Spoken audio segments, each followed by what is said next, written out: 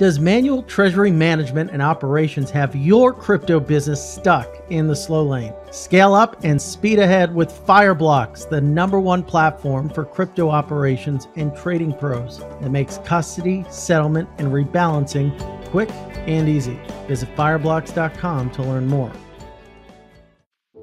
This episode is brought to you by Coinbase Prime, an integrated solution that provides institutional investors with an advanced trading platform, secure custody, and prime services to manage all of their crypto assets in one place. Futuristic companies like Tesla and MicroStrategy have used Coinbase's comprehensive investing platform to execute some of the largest trades in the industry. Learn more by visiting coinbase.com/prime to get started today.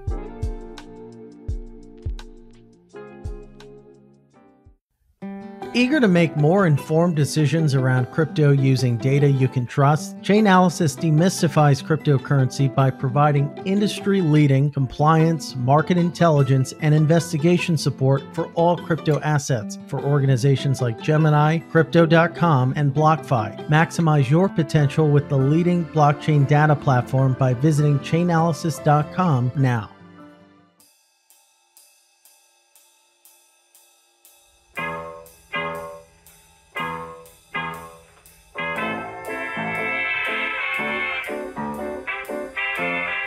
Well, ladies and gentlemen, welcome to The Scoop. I'm your host, Frank Chaparro, Director of News at The Block, and we have a very exciting episode for you today. Joining us on the other side of the mic is Dave Olsen, President of Jump Trading.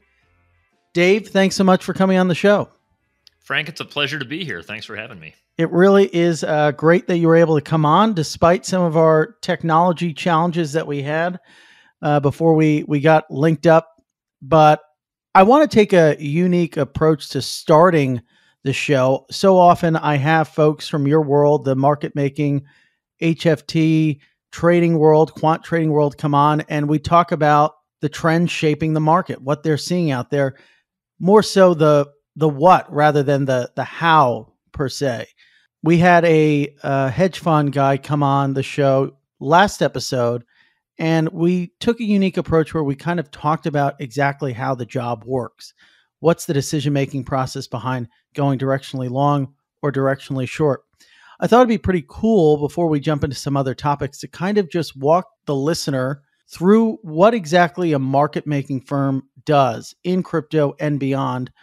I like to explain it as kind of similar to how we might think of Amazon, right? Sitting between the merchants and people who are willing to buy. Sometimes they hold on to that inventory. In a similar way, a trading firm like Jump does something pretty similar, right? Kind of sitting between buyers and sellers, and in some cases taking on risks, but operating within a very short time frame. But since you're the expert and I'm not, maybe you can kind of walk us through how that works. Yeah, it's a good question. Uh, the role of a market maker in any product, you know, whether that's a physical product, uh, you know, your Amazon analogy, I think, is a good one. Uh, you could think of a car dealership, uh, you know, amassing inventory and trying to know the value of the, the car and waiting for someone to buy on the offered side. But there are really two key components to being able to, to provide liquidity into a market. Um, one is the existence of bid offer. So, uh, with enough volume, if you buy low uh, and sell high over and over and over. Uh, that's a that's a business model that works, obviously. Um, and the the trick is uh, being able to being able to buy at the right time and hold the position with the expectation that someone else is going to want to purchase it at uh, at a slightly higher price. You don't always get that right, uh, but the existence of bid offer and the ability to be more competitive uh, or provide a tighter bid offer than the rest of the market uh, is something that if you can accomplish it is going to bring flow. Uh, the other is the ability to uh, have a view, a correct view, hopefully, on the direction of the price of the asset that you're providing liquidity on. Uh, so let's say you've got an instrument that is bid at a price of four and offered at a price of five in the market. If you can bid four and a quarter, four and three quarters, you're going to be the best price for someone who's selling and the best price for someone who's buying. Um, that's terrific. Mm-hmm. But if you have a view based on uh, all the information that you've got available to you at that moment, uh, that the price is on its way from a midpoint of four and a half, using my example, up to six, you might bid at four and a half or even four and three quarters, or even lift the offer at five yourself uh, and bet that the, the price is going to end up at six, where you can either have someone lift you out of your position or cross the bid offer at that point and sell to somebody at, I don't know, five and a half. So those two components are really at the core of any market maker's uh, operation. Uh, and the the art of it is making sure that you've got all the data and the ability to analyze it uh, and to uh, to act on it in a way that you know at least 51% of the time makes money. Yeah, it's all about scale to an extent. In crypto and in equities, is the name of the game just trying to get as wide of a spread as possible? Is that the profit opportunity there? Well, I think that our philosophy is uh, we look at markets that we have an opportunity to uh, to trade in reasonable volume and where we can bring additional efficiency to that market. Efficiency either because the bid offer is too wide to begin with, and we can compress that mm. so that everybody gets a better price and we can earn a living in the meantime, or efficiency that information, uh, maybe from another market, uh, maybe from a, a similar asset, uh, is not being incorporated into the price effectively for that market. So I think in either case, uh, you know, if you get it right, not only can we earn enough to keep doing it and keep making those investments, but the end user in that market is going to get a better price, either in terms of lower bid ask spread or a better reflection of all the information in the world that should be incorporated into the value of that asset. Um, so those are the those are the two kind of key variables that we try to bring to any market where we do business. And there's more liquidity there. So if I wanted to move in size, put on a large position with firms like Jump sitting in the background, it's easier for me to do that. One question that I have is okay, so what exactly goes into the process of either tightening those spreads for the other market participants out there and having the data or the know-how to get into the market in a specific way. What are the tools in your toolbox so to speak that can effectively make you a good market maker? You know it's an incredibly competitive environment. It's one of the most competitive areas of finance. Uh, there are a lot of smart, well capitalized firms that are all competing to you know be that price provider to to be a slightly better bid or a slightly cheaper offer uh, than anybody else on the planet. Um, and there have been uh, there have been a lot of repetitions and a lot of there's been a lot of shakeouts too. A, lot of shakeouts and a, and a, and a lot of opportunity to to learn and it's gotten to a state of the art that really is both quite efficient and and quite sophisticated. But the the core elements that you need, you need to have access to multiple markets simultaneously. Frank, you brought up a very good point that if someone wants to move size, they're now able to move size maybe in in an amount that is above the capacity of the market that they're dealing in because you've got participants, some participants like us that have access to a lot of markets simultaneously. So we can stay on that bid and keep getting hit, even though the the marketplace or the exchange or the venue where they're trading at that moment might not have the liquidity to support it. we we can channel all of that selling pressure and diffuse it globally to a number of other venues. So the first thing you need is you need you need connectivity at scale. So you've got to be involved and connected to and able to trade uh, pretty much everywhere where that instrument trades. Uh, you also need plenty of capital. Uh, so, a lot of markets, especially crypto, uh, there might be leverage available to you in some areas, but for the most part, crypto is a fully funded, pre funded game where, you know, it's great if you're getting hit on Coinbase and you want to sell somewhere else but you've got to have coins pre-staged at those other venues ready to go uh, or cash pre-staged fiat or stablecoins pre-staged where you can be the buyer. And so you've got a multiplier effect on your capital base to have to really be all places at once. So connectivity scale and then the ability to analyze all the information you're getting and translate that into your best prediction of what should the price be for that asset at that moment in time. Uh, those are really the three building blocks. I'm going to get into crypto. I hope the crypto native listeners aren't sort of getting a little too lost in the weeds here. We're going to talk about Jump's role in the crypto market. We're going to talk about Wormhole, but I just want to continue on this thread because I think it's interesting and important context. So, when most people think about connectivity, right, they think of I'm not going to say his name, but that book written by that guy about that one exchange, right? And putting your sort of um, co locating your trading systems with the exchange data systems. That's not so much, well, we are getting into crypto actually. That's not so much the name of the game in crypto, is it? Maybe juxtapose what's important as a market maker trading firm in crypto versus equities, right? Because co location isn't necessarily something that's important. Yeah, I, you know, and I was using connectivity more in in terms of having access to participate in the market and the ability to get data out of it, rather than you know the specific means through which you're uh, you're connecting. So the ability to trade on a venue, no matter where that venue is in the world, is really the key component that you need. I think that the you know in traditional market making or in crypto, speed is one of the most uninteresting features of the marketplace uh, it's really capacity and the ability to analyze the data and develop a a prediction of the current price and where the price is moving that really trump it. You can't be slow. You can't have a dial-up internet connection and and expect to participate uh, uh, with any success.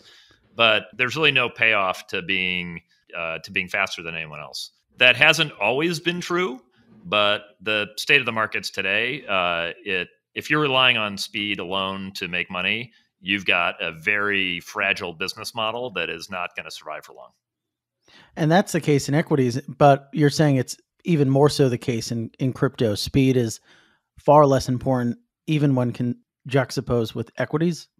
It, yeah, the the crypto market is less deterministic than mm-hmm. other financial markets, and what I mean by that is you get different behavior if you try to do the same thing over and over a lot of the traditional finance marketplaces have dialed up the precision of their matching engines and their cable lengths and all that sort of thing so that if you did a thousand trades you've got an extremely tight distribution on what happens every single time. A lot of the crypto market is cloud hosted.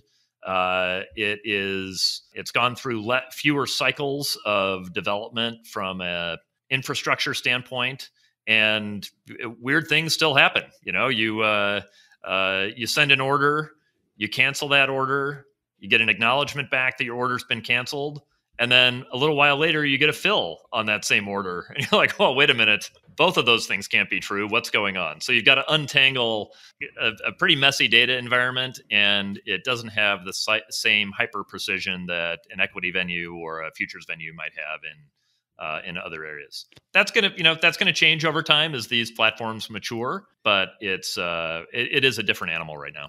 What about the relationship between trading firms like Jump and venues in crypto? I know from my experience in traditional capital markets.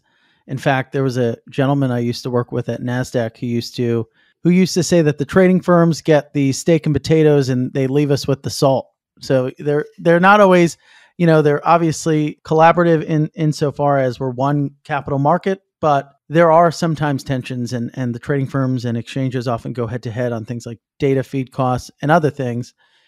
In crypto, I feel like it's a little bit of a different animal, right? The exchanges depend on the market makers a bit more for a number of different things, not just liquidity, but sort of investment advice, guidance on building out these systems, right? Because maybe, well, not so much the case today, but at least a few years ago, they really needed you guys to come in to stabilize things and whether it's dampen volatility or sort of serve as a backstop.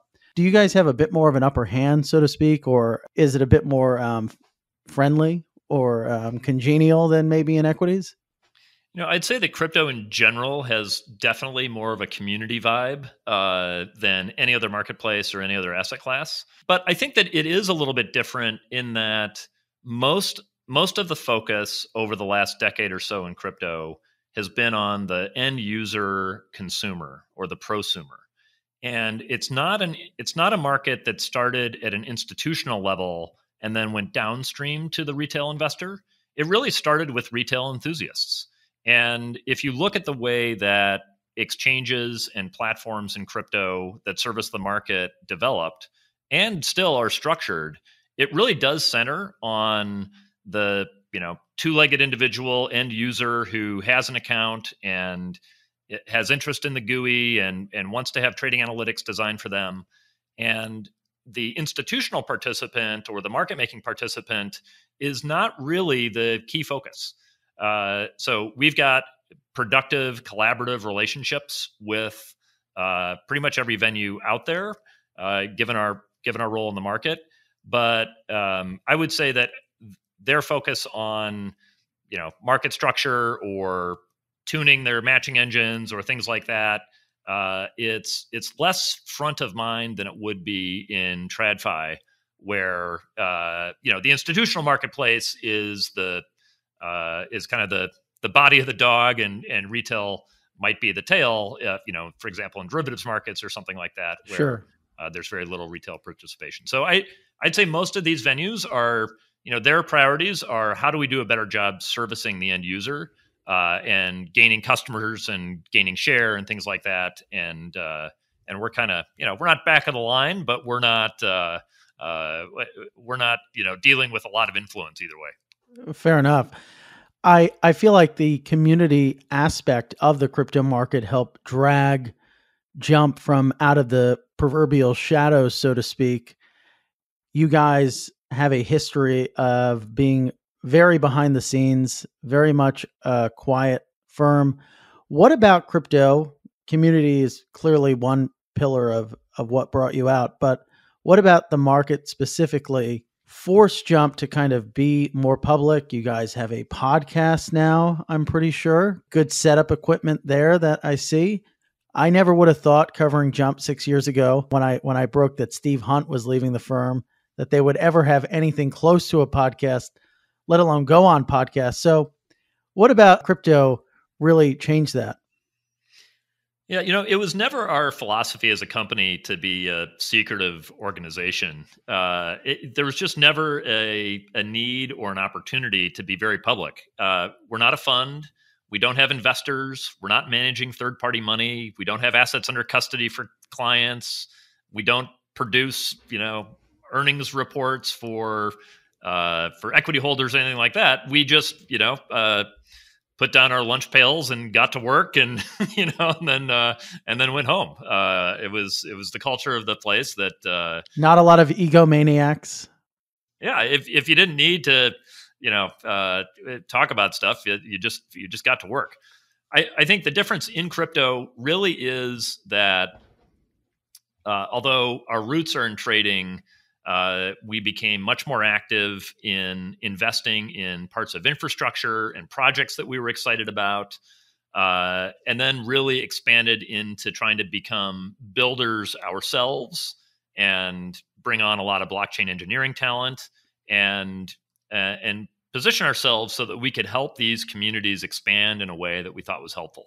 Uh, and it was really that that uh, you know, you need to talk about things, and sometimes you need to rally support or have healthy debates or be a little bit more in the public eye. So it's really that evolution that kind of brought us to this fancy mic setup that I'm speaking through right now.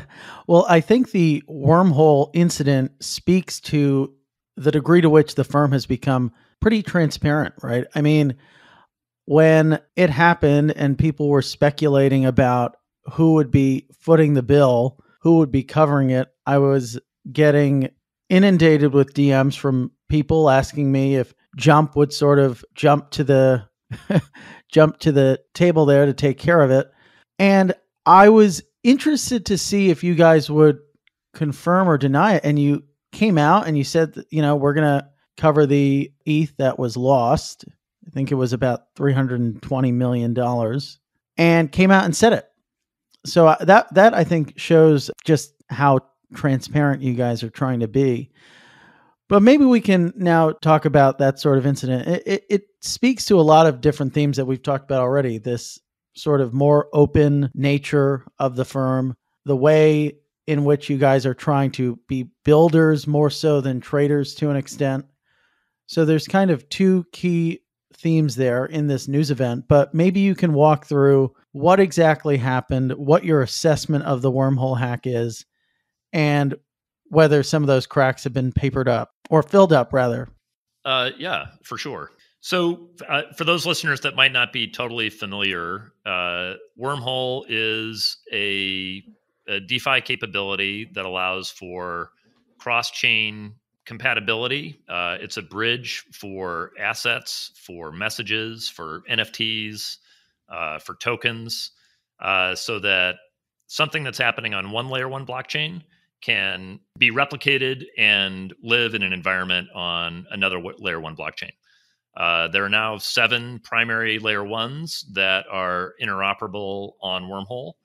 And if you, you know, for example, uh, are an artist that wanted to mint uh, a series of NFTs, but you found either the cost or the energy footprint of doing so on the Ethereum blockchain to be prohibitive, uh, you could mint those NFTs on Solana and then choose a subset or or transfer that NFT through Wormhole into a NFT marketplace on on the Ethereum blockchain. So uh, a lot of traffic uh, between blockchains, uh, a lot of total value locked, over two billion now uh, on the on the Wormhole network, and in our view, this kind of cross chain capability is integral to the the development of a really fertile, really healthy ecosystem in crypto going forward. So, a lot of conviction about the project, uh, a lot of excitement about the composability that's already happening on top of Wormhole and a cross chain kind of a, a structure. Uh, and it was with that context that we went into uh, the events a couple weeks ago uh, when a vulnerability was exploited and ETH was stolen uh, by thieves. So, uh, you know, to, to kind of take you back uh, to that moment, many of us with Jump Crypto were at an offsite exercise that we were having in South Florida. Uh, there were at least a couple dozen of us down there. We were digging deep into some research projects and and formulating strategy around platforms and you know discussing the business just internally. We were in the middle of one of these conversations when one of the developers who's closely focused on wormhole noticed a unusual discrepancy in the amount of wrapped ETH relative to the amount that had been locked on the Ethereum blockchain, uh, and kind of sounded the alarm. Very quickly, we had uh, a cross-functional team congregating on uh, real-time communication channels and went about trying to diagnose okay what is happening?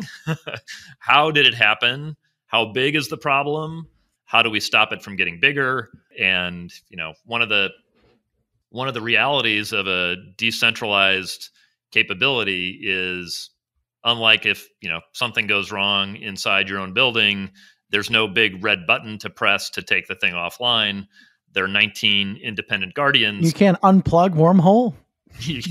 you have to go. You, you know, you have to go around and get alert each of the guardians and make sure they know what's happening. And uh, the system was taken down safely for the diagnosing of the problem and and ultimately repairing it. We got our arms around the fact pretty quickly that 120,000 ETH had been uh, had been compromised, had been stolen.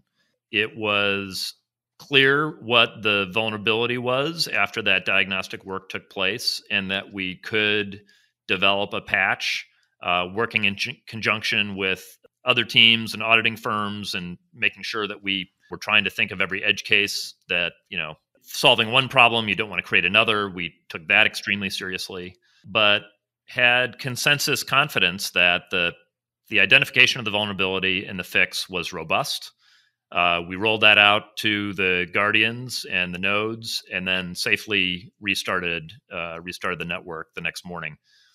In parallel, of course, is the question: uh, All right, well, what happens to the compromised ETH uh, and the the value that was backed in the system for people that were holding wrapped ETH or depended upon that uh, uh, value being there?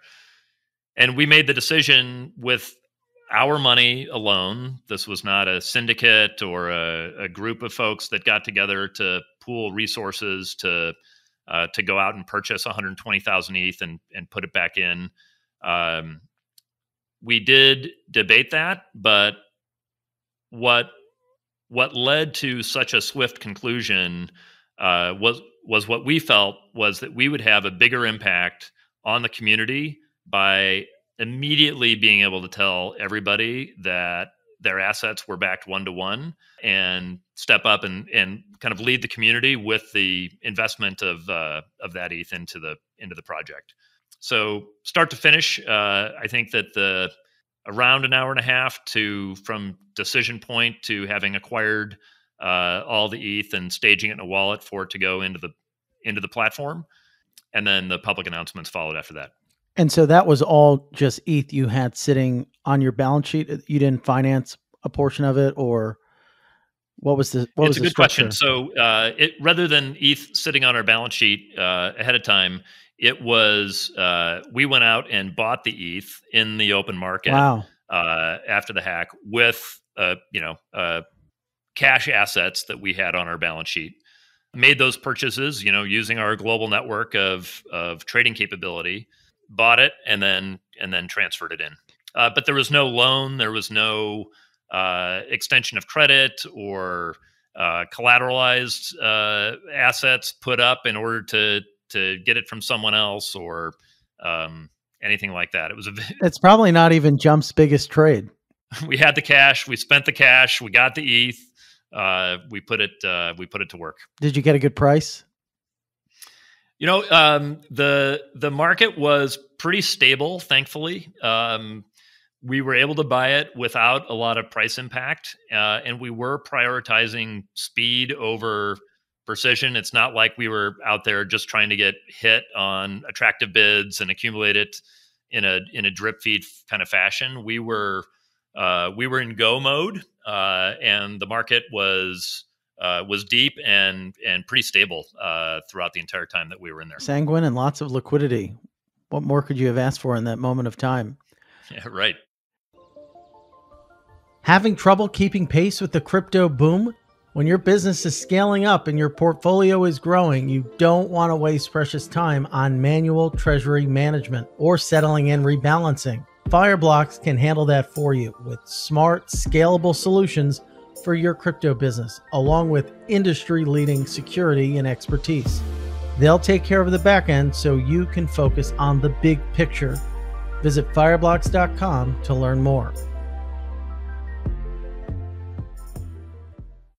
This episode is brought to you by Coinbase Prime, an integrated solution that provides institutional investors with an advanced trading platform, secure custody, and prime services to manage all their crypto assets in one place. Coinbase Prime fully integrates crypto trading and custody on a single platform and gives clients the best all in pricing in their network using their proprietary smart order router and algorithmic execution. Futuristic companies like Tesla and MicroStrategy have already used Coinbase's comprehensive investing platform to execute some of the largest trades in the industry. Build a unified investment portfolio with one of the most trusted names in crypto. Learn more by visiting coinbase.com/prime to get started today. Are you eager to make more informed decisions around crypto using data you can trust? Chainalysis is here to help. Chainalysis demystifies cryptocurrency by providing industry leading compliance, market intelligence, and investigation support for all crypto assets for organizations like Gemini, Crypto.com, and BlockFi. Gain unparalleled visibility and maximize your potential with the leading blockchain data platform by visiting chainalysis.com now. So that's pretty interesting. I want to get a sense of like your prognosis for what happened in a AMA that Solana founder Anatoly hosted. He kind of chalked up the incident to a lack of tooling within the Solana community, at least at the time of Wormhole's development. We have some of that tooling now. Thinking of things like Soteria, which is a sort of security service for Solana. How would you describe your prognosis for what happened? Was it a lack of tooling or something else? You know, there was a uh, there was a vulnerability that uh, was identified by what we believe to be a very sophisticated a, a, an attacker that had the capability to really understand uh, code from every direction in a way that had eluded who we believe are the best security blockchain engineers in the world and a couple of the uh, the best resourced, most expert blockchain auditing firms that had reviewed the code and not seen this vulnerability. So it was not low hanging fruit. This was not, uh, you know, an obvious error, but a bug did exist in the code base, uh, and this uh, this attacker was able to identify it and exploit it. So I think that the the security environment we know is highly visible. Uh, anytime you start getting total value locked that are at these kind of numbers, you have a target on you. Uh, and I think that this was a a difficult but ultimately a moment where the the code base got more robust. It was costly uh, to go through that iteration, uh, but we're coming out the other side stronger. And I think the you know the bug bounty that is out there to try to identify anything else that is overlooked is, as far as we know, the highest that has ever been offered. It's a ten million dollar bug bounty. Uh, we've got a lot of eyes on it, and uh, both uh, within the Wormhole project, at Jump Crypto, at auditing firms, uh, looking at ways to make it safer. Well, I think that the speed behind your execution to solve this problem is pretty impressive, and it's it's really cool to kind of get that background and the the story behind the execution on fixing this. I wonder though, obviously Solana has kind of had a bunch of issues um, related to its uptime, the the wormhole hack being another recent example. Does this chip away at the thesis that Solana can one day be the blockchain for Wall Street?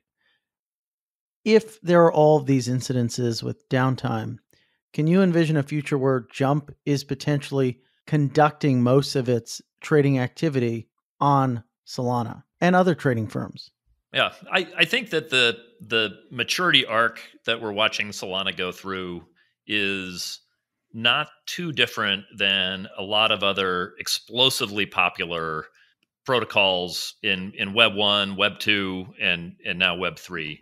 Uh, you've got immediate scale.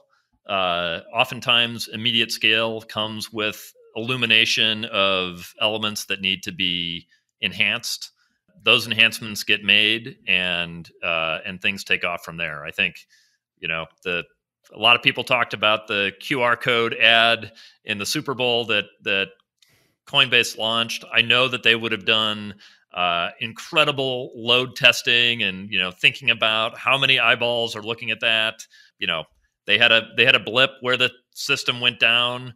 That's usually a sign of success uh, that something you're doing is attracting that much attention and getting that many simultaneous users to do it. Uh, and I think that you know Solana is seeing that happen. To answer the second part of your question, we think there is a an extraordinary promise in high performance, high capacity blockchains.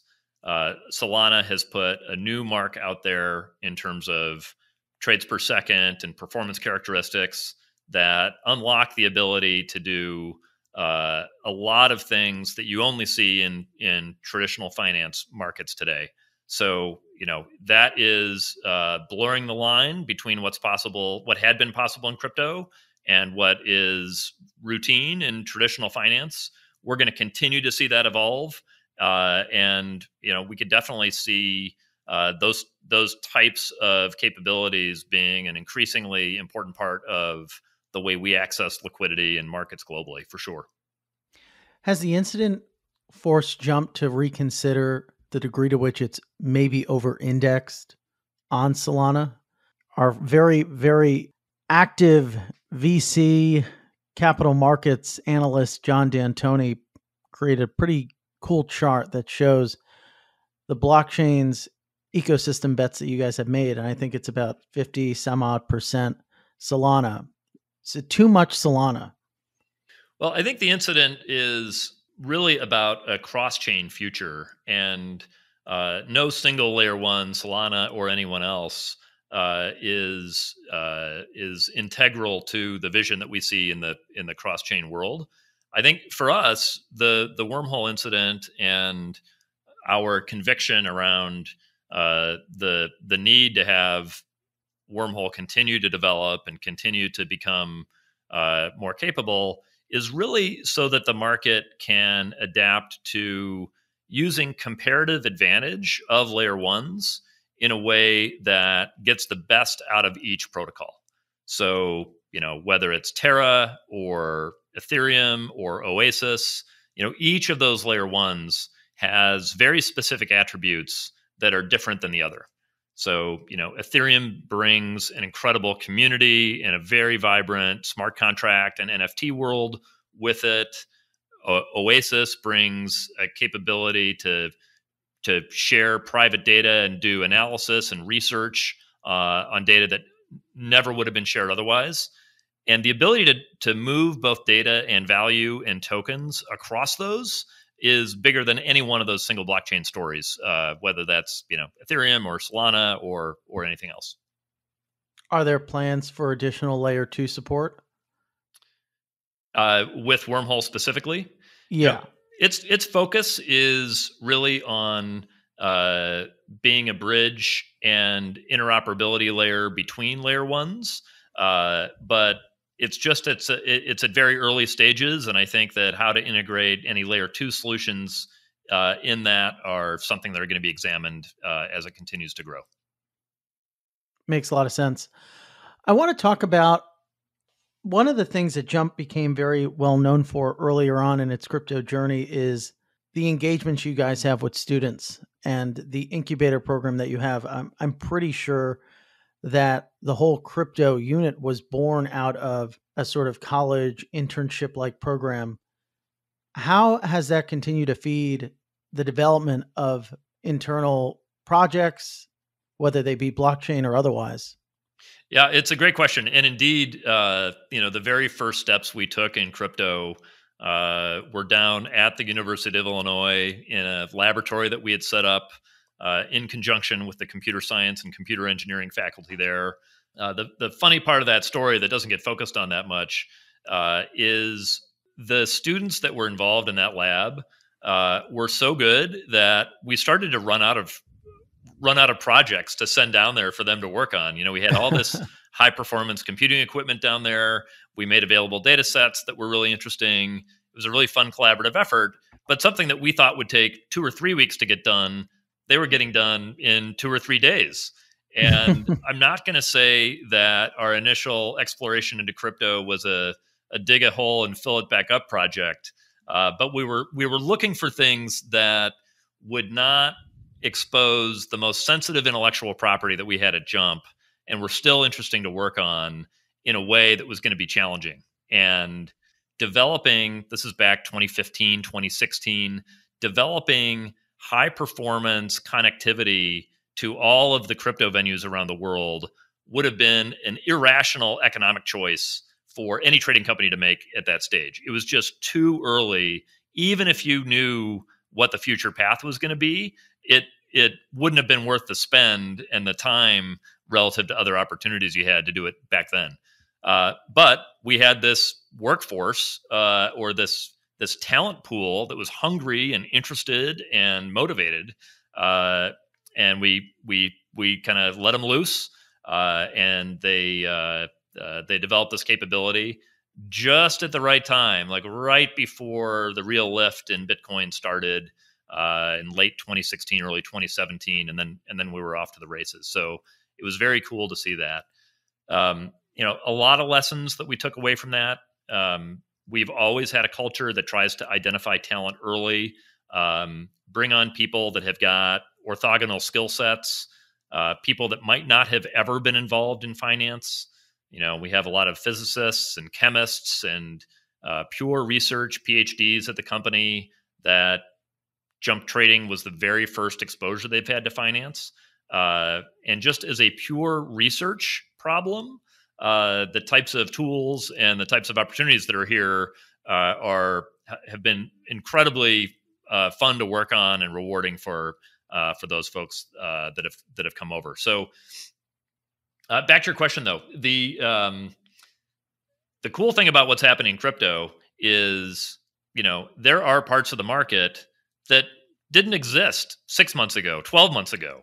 Entire new product classes that nobody has a decade of experience dealing with, and so age and tenure become almost irrelevant in the face of such a fast moving uh, technology. So we've we've taken a very agnostic view about uh, about background, and there are um, you know literal teenagers that uh, have uh, have capabilities that uh, that we want to bring on board and and and really let uh, give a very high ceiling to in, in trying to solve some of these problems.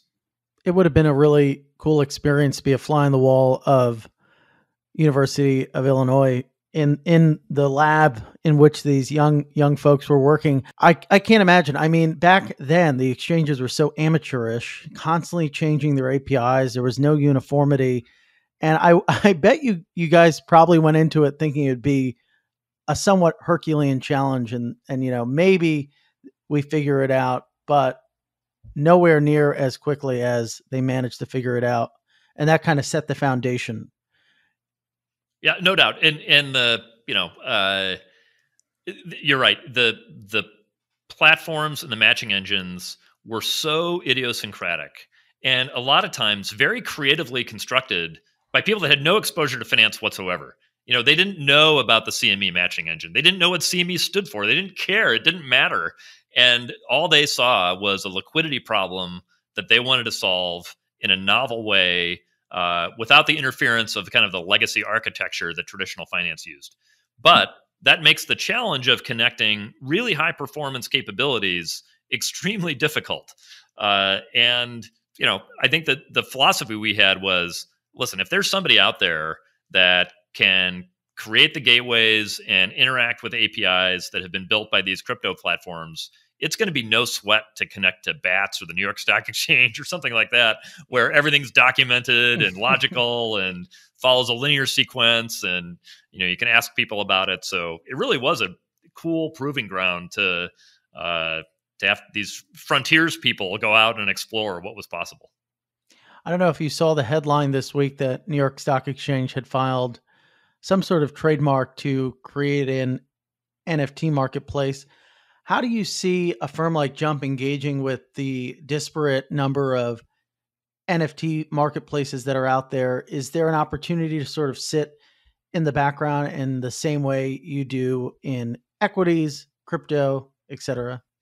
Yeah, NFTs are uh, obviously scaling pretty quickly. Um, we've got resources dedicated to figuring out ways that we can help solve some of the problems out there and increase liquidity and transparency and data they are a different animal. I mean, by definition, they're not fungible. You you can't trade the same same NFT on 40 marketplaces around the world simultaneously or see an imbalance one place and help correct that with your capital and your trading capability. Uh, so it is it is a different problem to solve, but one that we're excited to take on and have been spending a bunch of time thinking about. Makes a lot of sense. I want to be respectful of your time. I know that we're we're just we're just at time. But one thing that I think could be interesting, and I'm trying to ask more people about, is what do you look for? We we kind of touch the the peripheral of this question. What do you look for when you're bringing someone new into the company? You know, whether they're junior or or more senior. Um, the talent environment right now is pretty intense. So I want to maybe get a sense of what you look for. Yeah, I mean, we've got a bunch of different roles, so there's no single answer to that question.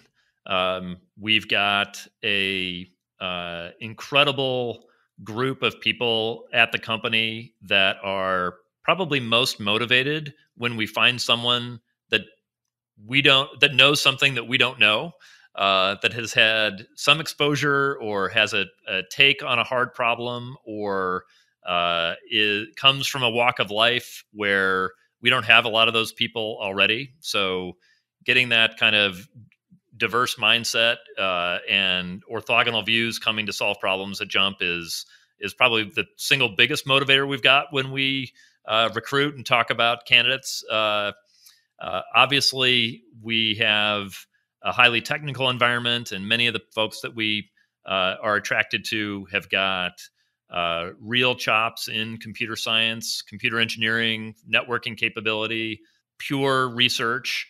Uh, so, depending on the role, um, we're looking to get you know the the talented, motivated people that we can learn from uh, and and bring on and, and see what's going on. Super cool. And the firm's has grown quite quite substantially over the past few years. Uh, yeah, we're uh, we're well north of a thousand employees total. Uh, well north of a hundred just in the crypto unit. Um, so we've uh, we've scaled up uh, over time, definitely. Cool. Well, sir, thank you so much for joining the show. Again, we've been joined by Dave Olsen, president of Jump Trading. Dave, where can our listeners learn more about you, more about Jump, maybe more about your podcast? What what can you shill for us? They can follow Kanav's intern. That's another question. Is that really his intern? I was going to ask him when he was going to come on, but you know, I will. Uh, I'll I'll chase that down and I'll get back to you on that, Frank. Thanks so much for being on the show. So yeah, where can we where can we find you? So we've got uh, active Twitter channel. Jump Crypto has uh, has been uh, pretty active recently. You know, find us on the web, on Twitter. We've got uh, a number of, of channels that you can go to and learn more about us. And uh, you did mention our podcast. It's called the Jump Off Point. Uh, Kanav and I recently did an episode where we got a little bit deeper into some of the wormhole specifics. So, any of those channels, we welcome the listeners to check out. Well, thanks again for stopping by. The Scoop will be back for you again with another great guest. Have an amazing day.